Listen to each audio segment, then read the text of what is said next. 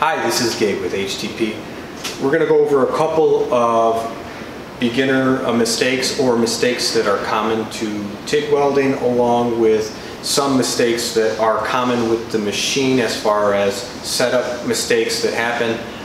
Um, again, my name is Gabe. What I do here is I'm one of the technicians here that typically will talk to you as far as troubleshooting whatever concerns you have. So we get a lot of calls on certain issues. Um, today we're going to go over some issues with the 221 that a lot of people have when they try to set up their machine.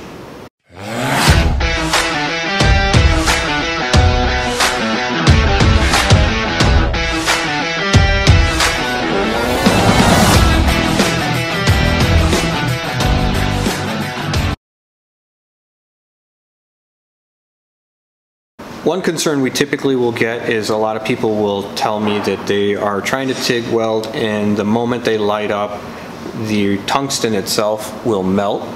And one of the number one concerns that we see, or one of the number one issues that we find is that a lot of people mistakenly will put the TIG torch and the ground in the wrong spot. Now, it, a lot of times what happens in your head is that you say this is a ground, so it should be in negative.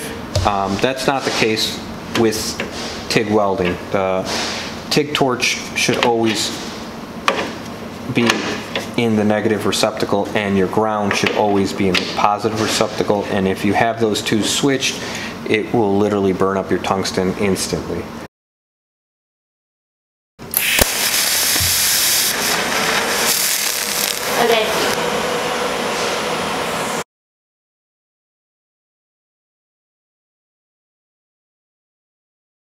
One of the other issues that we see is with our starting amperage. So what that means is when you go to hit the foot pedal, the way the machine is set up, you have 4 amps starting amperage, so it goes from 4, and depending on the pressure on the foot pedal, will increase the amperage. Well, you can actually set your starting amperage to whatever you want.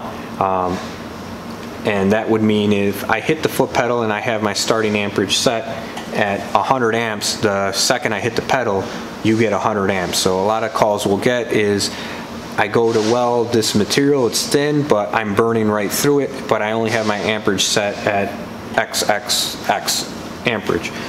So in order to set your starting amperage, you hold down your function button until it displays a number.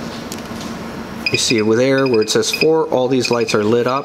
So right now I have 100 amps as far as my starting amperage. That's not the case that we want.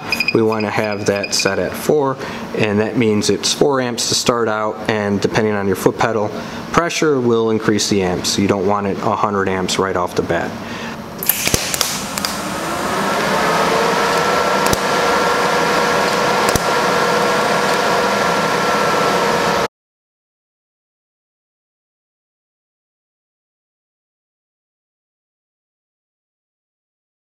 Uh, another common issue is I'm trying to weld AC and when I go to light up and weld on AC it's either melting my tungsten or melting the material. Um, this particular model can go into independent EN versus EP, electrode negative versus electrode positive, which means you can individually adjust the amount that's on it. So that's going to be more of uh, an advanced setting, so people that know which way they want.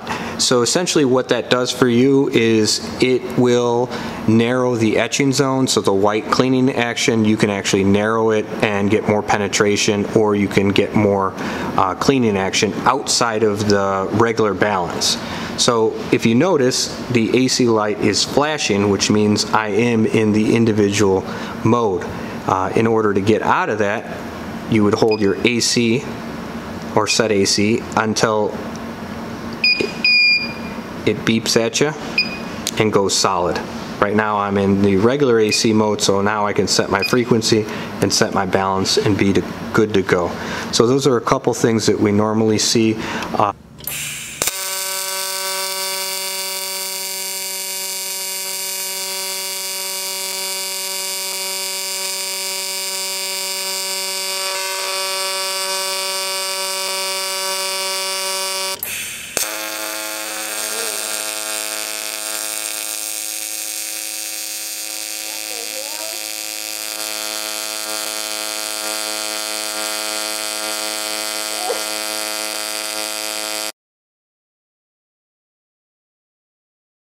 Uh, One other issue is I go to TIG weld and the torch is, you know, going on, off, on and off every time I hold the button or the torch down. Uh, A lot of times we see people have your pulse on, which essentially, uh, to oversimplify it, it essentially is shooting bursts of electricity or uh, the welding arc is on at uh, 100 amps and it's going down to, let's say, 20.